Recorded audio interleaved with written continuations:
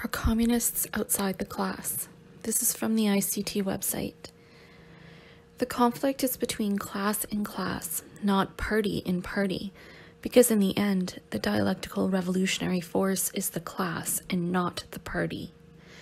The party sensitizes and strengthens and gives conscious, conscious guidance to revolutionary action.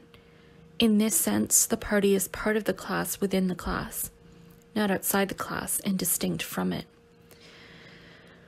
The dialectical overturning is realized by the class as a whole, not by the party in place of the class. But there would be no transition from class in itself to class for itself in the case of the absence of the nerve center of preparation and guidance, which is the party. That was a quotation from Onorato Damen. Introductory note. In this article, we are focusing on an issue which is fundamental for us the issue of the relationship between party and class. We will do this by quoting long passages from two old pieces written and produced by Onorato Damen and Mauro Stefanini Jr. These are a text by Damen Spontaneity and the Role of Personality and Class Consciousness from Theory to Political Intervention by Stefanini from the 1970s. Both works, not surprisingly, have as their starting point What is to be Done by Lenin. This text is, in fact, in many respects, an important theoretical reference point.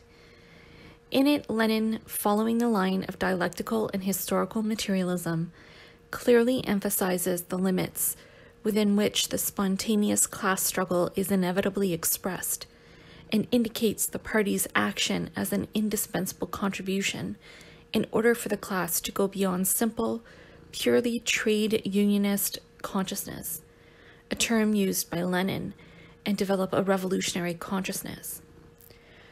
Um, it must be recognized that what is to be done made a significant, significant contribution on the theoretical question of the relationship that must exist between communists and the working class. Acknowledging that does not mean, however, accepting this document as myth or model. It was written in 1902 when not even in Russia was there an organized communist party.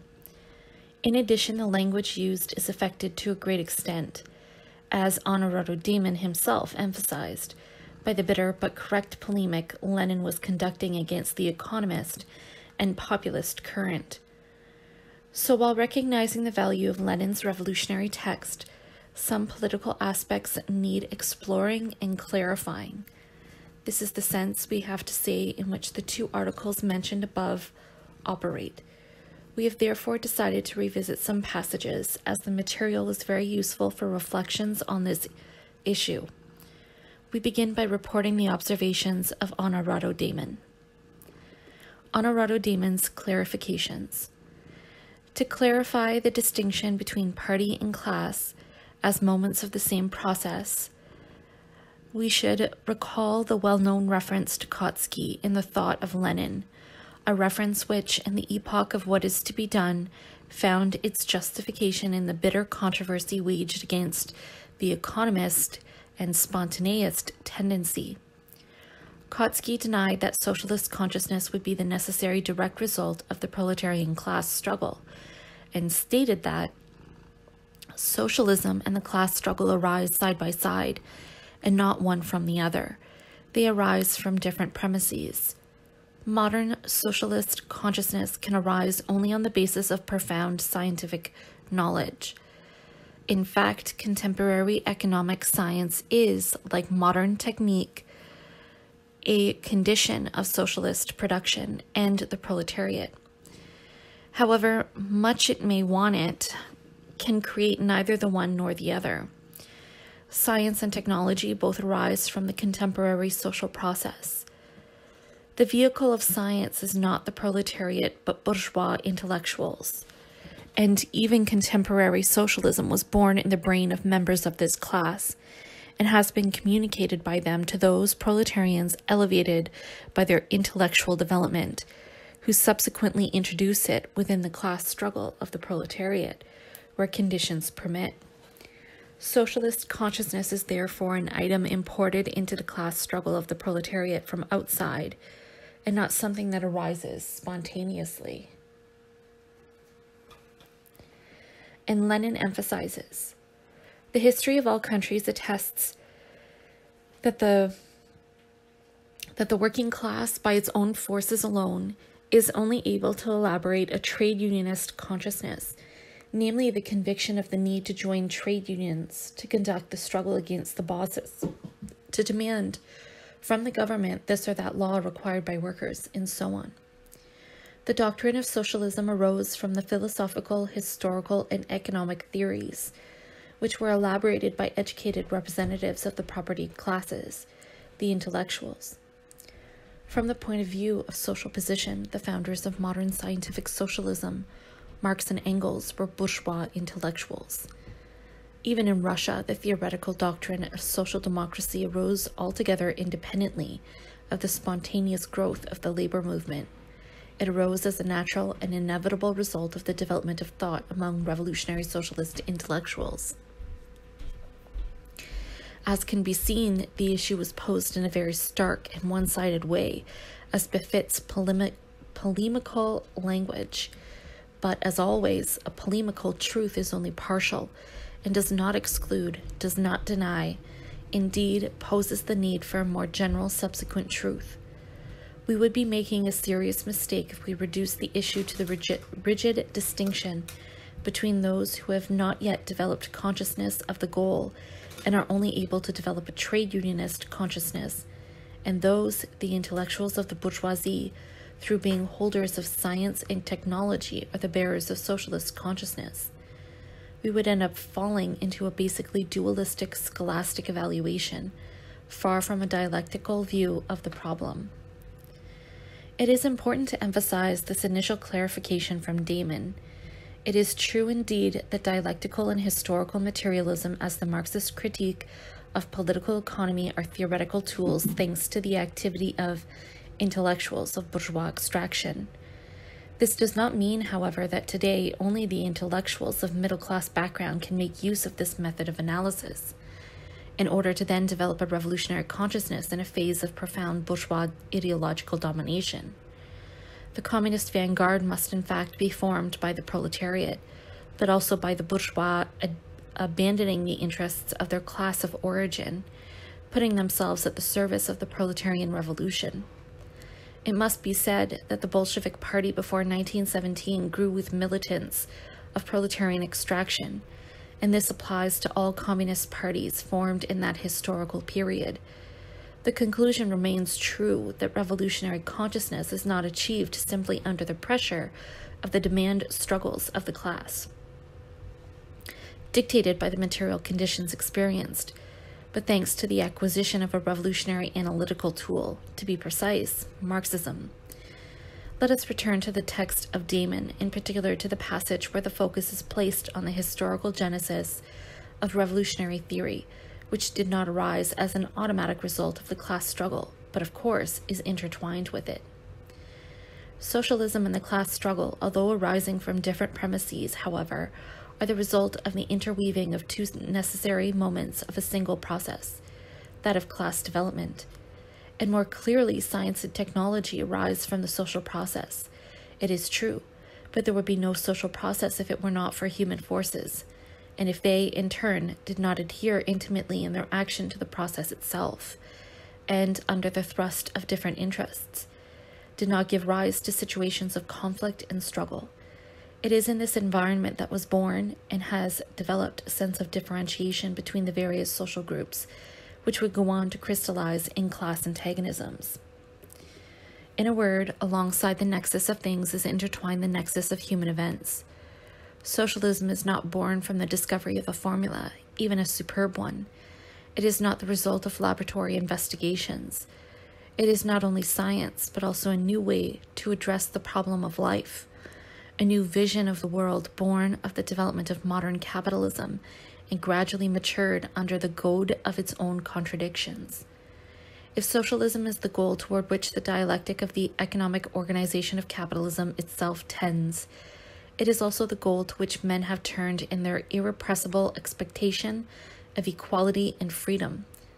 Even if we considered the contribution of Marx and Engels as the work of scholars from the bourgeoisie, we would have posed a problem of extreme banality if we failed to historically situate their exposure and destructive criticism of the capitalist system under consideration. And to historically situate it means to feel the critical work of these teachers not only in terms of science, but as that of men who participated as protagonists in the historical process, where they considered as their own the cause of that class in whose fate potentially exists the future destiny of all mankind.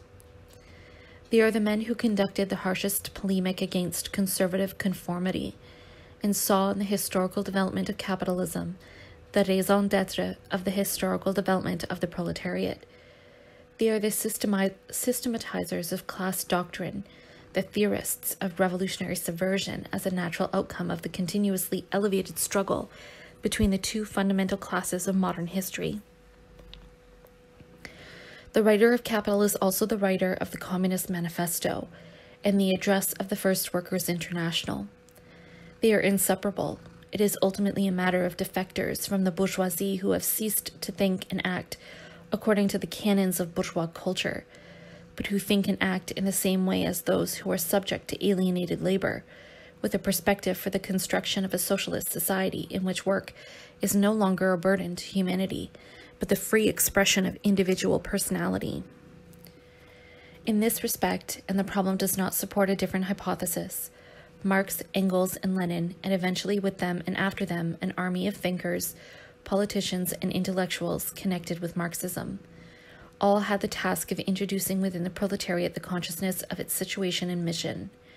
But the formative elements of this matrix have their historical consciousness in the working class. They are reflected from time to time in the brain of some men, as in a laboratory scientific systematization, to return them to the class to help it and make this conscious of, consciousness of purpose even more clear and distinct. So let's look at Stefanini's text, from which the passages that compose the following paragraphs in our work will be taken. The controversy over what is to be done. Plekhanov in the working class and social democratic intellectuals seems to straighten out some excesses of Lenin's What Is to Be Done. Among the criticized passages would be one according to which, in Russia, the theoretical doctrine of social democracy arose altogether independently of the spontaneous growth of the labor movement. It arose as a natural and inevitable result of thought amongst revolutionary socialist intellectuals. To this, Plekhanov says, the spontaneous growth of the labor movement exerted on it, the revolutionary movement, a very strong influence just when the old populist theory began to disintegrate under the pressure of new demands of life that it had not predicted. In the revolutionary journalism of the late 70s, one can find some very instructive examples of the fact that the unexpected appearance on our historical scene of the proletariat with all the factors that are peculiar to it embarrassed the populist authors and thus came the time for the great revision of the populist program. And later, Marx and Engels recognized in the proletariat the main revolutionary force of our time, a force whose historic mission is to replace the capitalist mode of production with the socialist. But that they might recognize this force in this proletariat required two conditions. First of all, the antagonism of classes and the rapid spontaneous growth of the labor movement Secondly, on their own part, i.e., on the part of those who were called to put socialism on a scientific basis, a careful examination of these phenomena. In the clash between quotes, Plekhanov seems to come out victorious. Lenin went too far. If the crux of what is to be done is to be found in that same sentence by Lenin and targeted by his rival, those who refuse Leninism and the essential concepts about the Leninist Party in toto would be right. These concepts were based, in fact, on a wrong methodological premise. But it is not. The key to reading what is to be done cannot at all be the comfortable version which Plekhanov provided, and, as we shall see, so did Martynov and the Mensheviks, and so forth. And it was Plekhanov himself who said this to Martynov during the second Congress of the RSDLP um, in 1903, where the very ideas of, of what is to be done were the center of discussion. Here is his statement.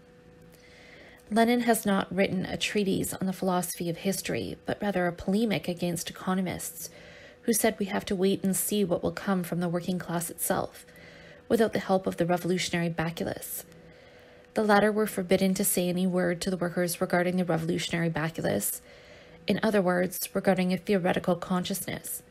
But if one deletes the bacillus, there remains only an unconscious mass, into which consciousness must be inserted from the outside. If one wants to be fair to Lenin and had carefully read his book, one would have seen that he says just that.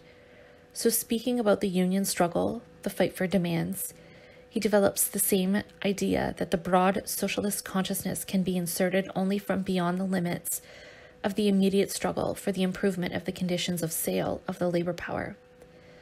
So Plekhanov in 1903 provides us with the best response to his anti-Lenin writings in 1904. But it is interesting to trace the subsequent contortions of Plekhanov that help us to better understand the essence of the problem he writes, precisely in 1904, a false polemic with Lenin.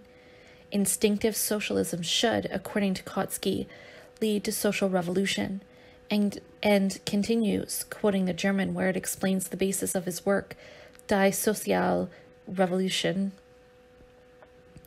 I wanted to know what consequences arise necessarily in the political domain of the proletariat due to its class interests and the needs of production quite apart from the theoretical base on which it was deemed the proletariat would stand during its victory. I then deleted any hypothesis on the influence of socialist ideas on the proletariat. Listen hard, listen is a phrase of Plekhanov aimed at Leninists. At the beginning of my research, I am asked the question what use will the proletariat have to make of its own power?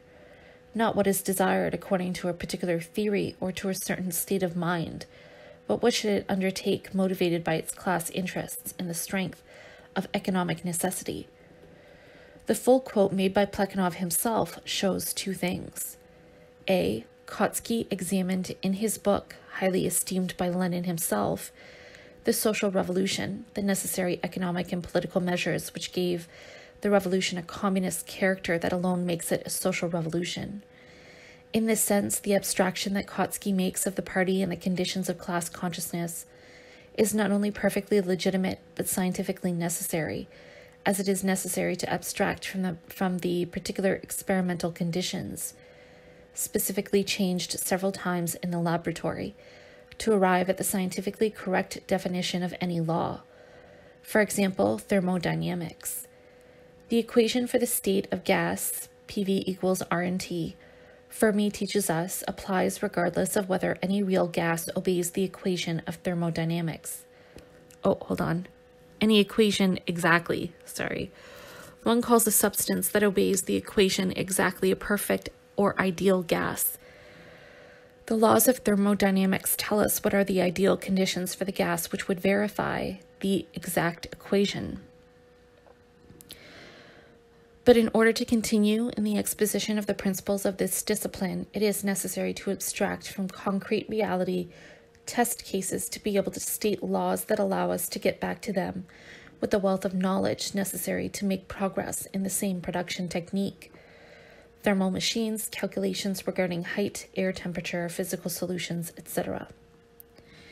Whenever one resorts to convoluted politics to escape strict Marxist positions, the scientific character that sets them apart is forgotten. Plekhanov is simply shooting himself in the foot.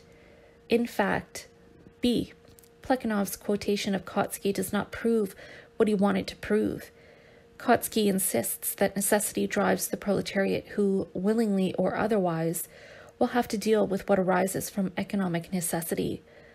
But even abstracting from the real conditions of consciousness, he leaves open the question for a moment how instinctive socialism must lead to social revolution. That's exactly what Lenin answers in What is to be Done, which Plekhanov accepted at the Second Congress of the RSDLP, as we have already seen. in What is to be Done is the clear answer to the problem we can formulate thus given that the theoretical consciousness of socialism is the product of theorizing outside of the daily dynamics of the class, from which it actually emerges as a problem or political issue, how is the link between the one and the other made?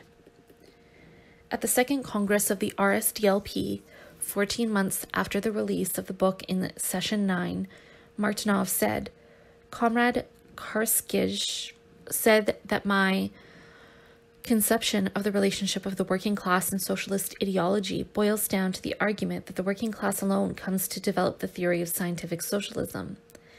I never said anything like that. I only found that the various layers of the proletariat have independently developed forms of economic and political class struggle and have transformed the ideas of bourgeois socialism into communist ideas. That, among other things, is exactly why Karskij, Karskij had reprimanded him. This particularly smells of opportunism from a mile away, since various layers of the proletariat somehow come to communism. However, even the ideologues are dealt with.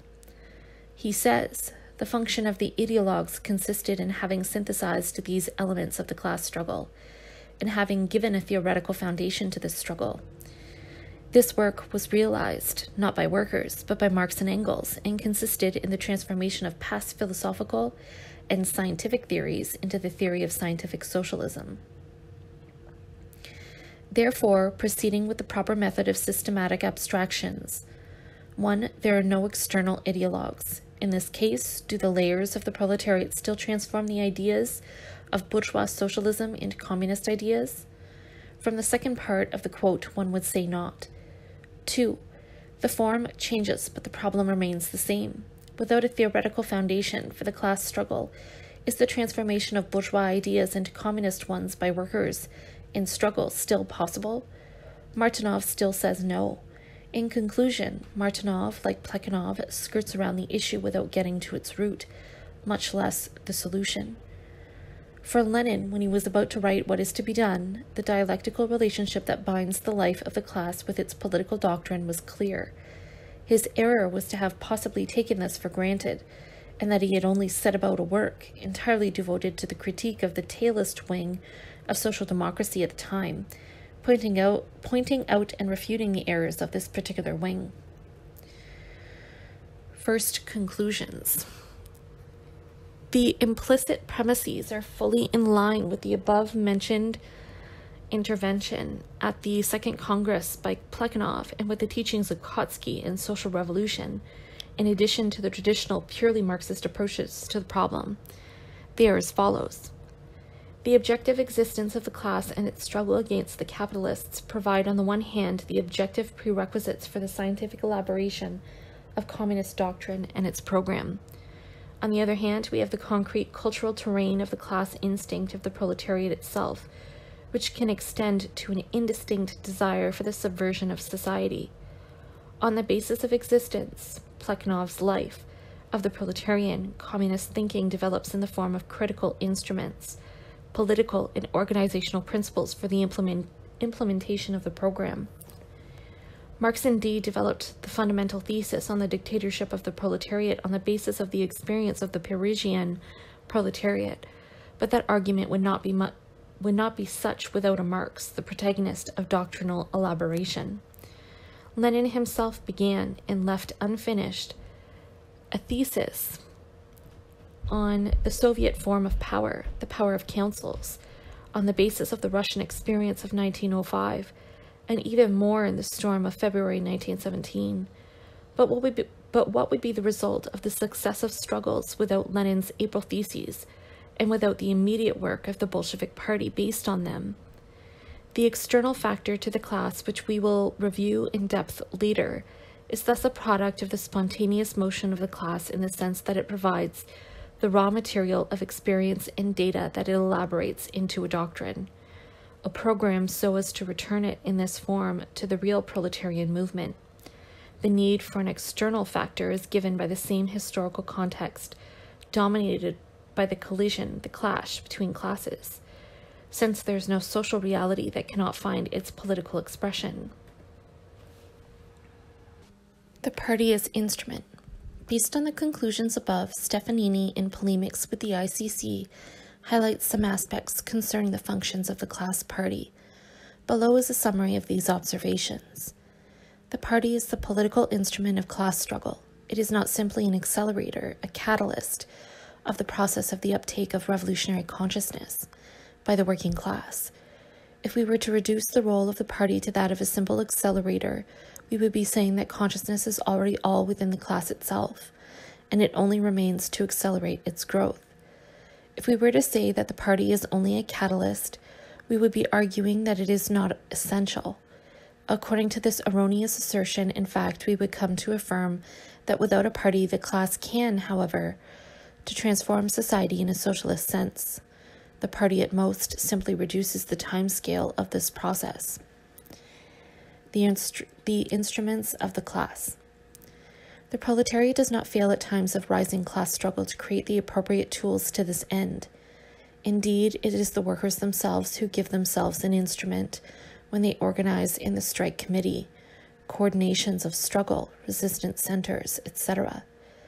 The actual movement of the class, the workers' concrete relations to the situations which they live, is configured materially in the proletariat special organizations each of which has clearly defined purposes and definite limits.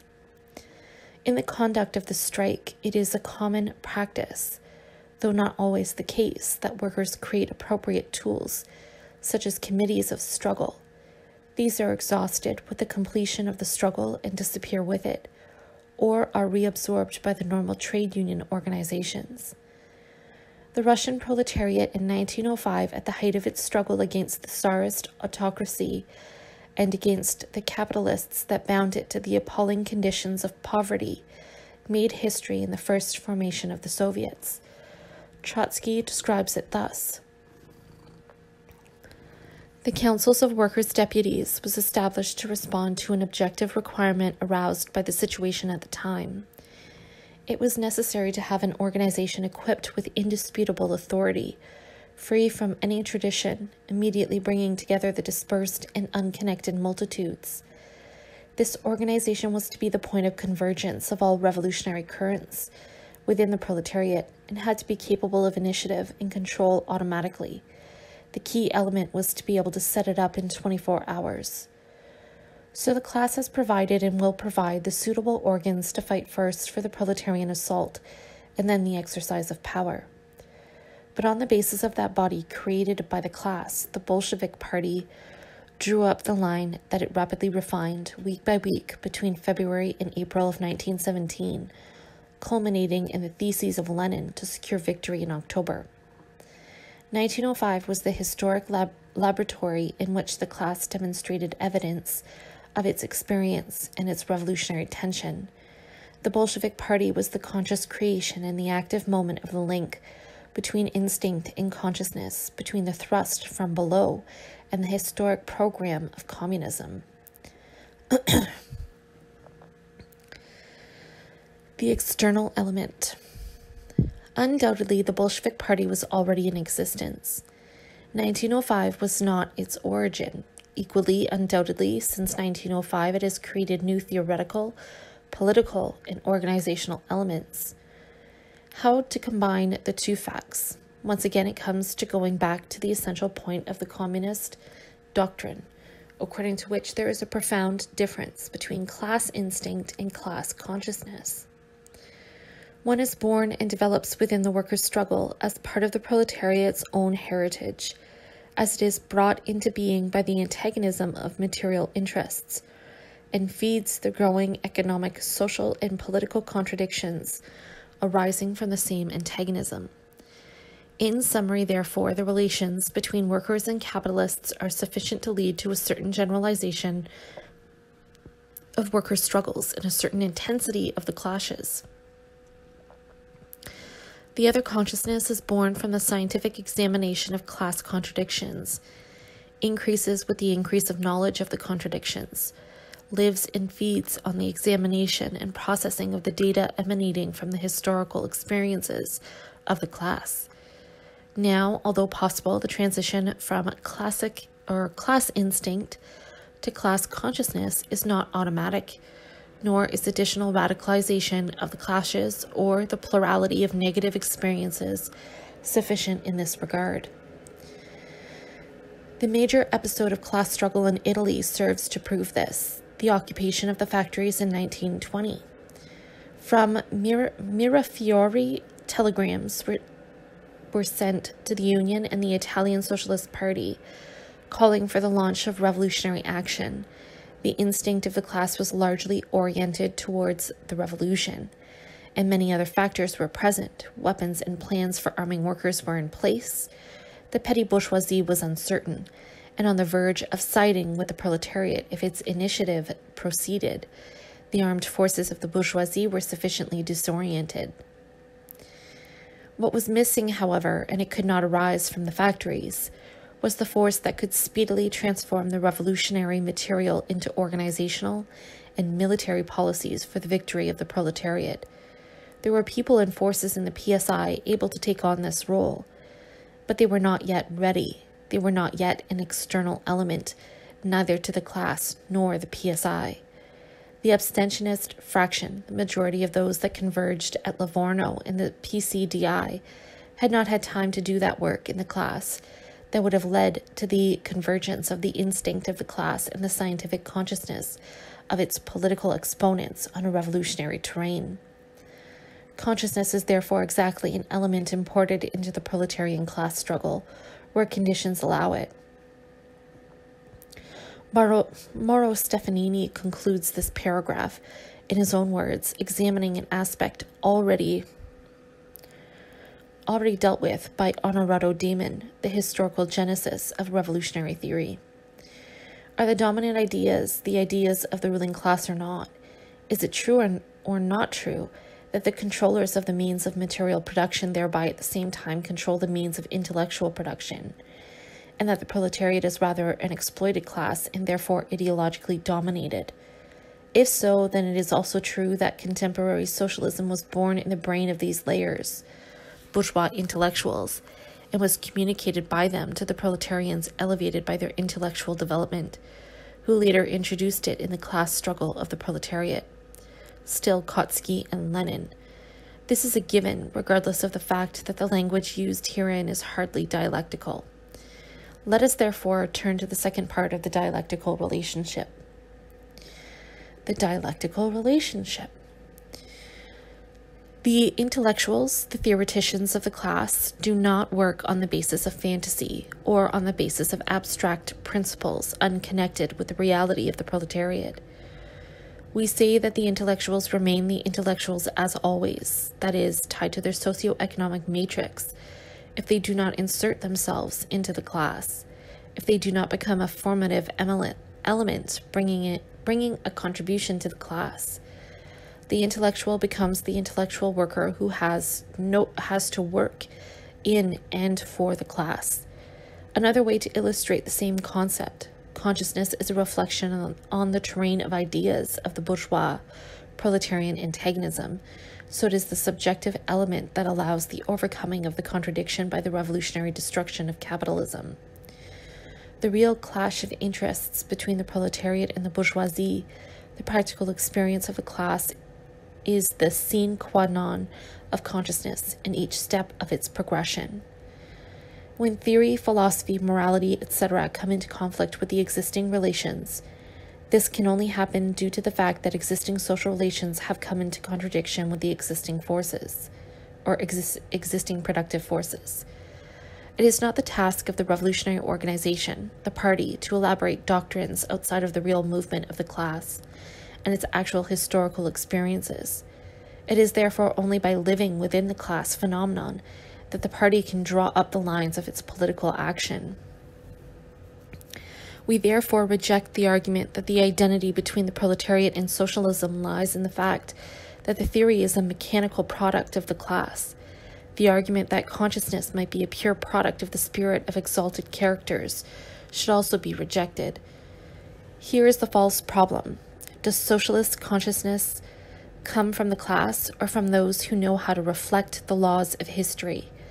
It is a false problem because it is not posed in dialectical terms that is in a way that really allows social and historical reality to be understood. The, so, the solution is, in fact, outside of the alternative terms in which it is formulated and includes them both. Socialist consciousness is the scientific reflection on the experiences of the class and the problems that arise from this, conducted by those who are equipped for this discussion and identify themselves politically with the class. This identification is the dialectical relationship between theoretical consciousness of socialism and the material existence of the proletariat and its movement. The resulting political problems. Let us therefore return to the thread that binds the class to its party. If consciousness is presented in its most complete form as a body of theory in the program for communism, how is the concrete connection between these and the class whose existence gave rise to them expressed?